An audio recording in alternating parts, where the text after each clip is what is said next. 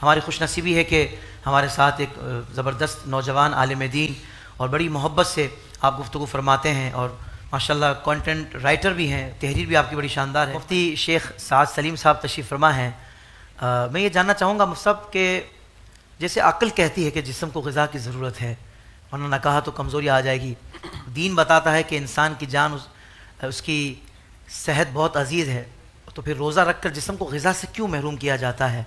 Science क्या कहती है इस बारे में? अलहमदिल्लाजी अकबर वसलात वसलाम सैदलबशर तो बेहद ममनू मशहूर हूँ आपकी इस पुरकैफ ट्रांसमिशन रहमत रमज़ान में। मधु करने पर अल्लाह के कायनात आपके लफ्ज़ों और जज्बों में मजीद बरकत अता फरमाए। आपका और आपके मावनीन की तमाम तर काविशों का अपनी शान के मुताबिक अजर अजीम अता फरमाए। देखिए ताहिर भाई ये आपने जो सवाल इस मौजू पर उठाया वन मुख्तलिफ़ प्लेटफॉर्म पर इस तरह के सवाल नहीं किए जाते ये बहुत लॉजिकल और क्रिटिकल सवाल है। इसके दो जवाब इस वक्त मेरे जहन में हैं। पहला जवाब तो हमारे असलाफ और सूफिया के नुक़ नज़र से हम्म। वही मैं पेश करूँगा उसके बाद दूसरे जवाब की तरफ़ आता हूँ। असलाफ और सूफिया फरमाते हैं कि देखिए जिसम की गज़ा जो है ना वो खाना और पीना है लेकिन रूह की गज़ा भूख प्यास है।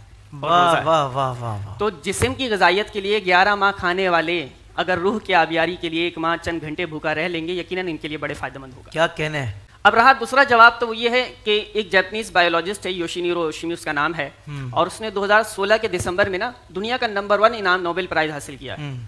और वो जिस रिसर्च की बुनियाद पे किया है वो रिसर्च आज मैं आपके सामने शेयर करने बात यह है मज़े की कि ये नॉन मुस्लिम है हम्म। गैर मुस्लिम रिसर्चर है अगर होता मुसलमान तो कोई कह सकता था कि अपना खुद साख्ता कीदा साबित करने के लिए एक रिसर्च बना रही गैर मुस्लिम रिसर्चर रिसर्च कर रहा है और फेवर में हमारे आ रही है। उसने रिसर्च की उसने कहा कि एक इंसान की बॉडी में जो है ना अरबों खरबों खुलियात और सेल्स मौजूद होते हैं। हम्म। तो कहते हैं fasting has a lot scientifically and medically benefits according to research of Japanese biologist कि रोजा रखना इंसान के लिए साइंसी तौर पे और तिब्बी तौर पे बड़ा फ़ायदेमंद है। बहुत अच्छे। वो कहता है कि जब इंसान मुस्तकिल तौर पे 14 से 15 घंटे हम्म। भूखा रहता है तो उसकी बॉडी के जो नेचुरल डैमेज सेल्स होते हैं ना उन सेल्स को उसकी बॉडी के स्ट्रॉन्ग सेल्स खाना शुरू कर देते हैं और इस प्रोसेस को वो कहता है ये प्रोसेस कहलाता है ऑटोफेगी सेल्फ ईटिंग ये उसकी रिसर्च हम्म। की तो वो कहता है कि अगर कोई साल में 20 से 25 दिन और चौदह से पंद्रह घंटे भूखा रह लेता है तो उसकी बॉडी में ऑटोफेगी हम्म। का प्रोसेस शुरू हो जाएगा हम्म। और वो कैंसर की बीमारी से बासानी बच सकता है क्योंकि यहाँ नेचुरल सेल्स ऑटोमेटिकली उसकी बॉडी से खत्म हो जाएँगे और यही सेल्स। कैंसर का रीजन सबब और वजह बनते हैं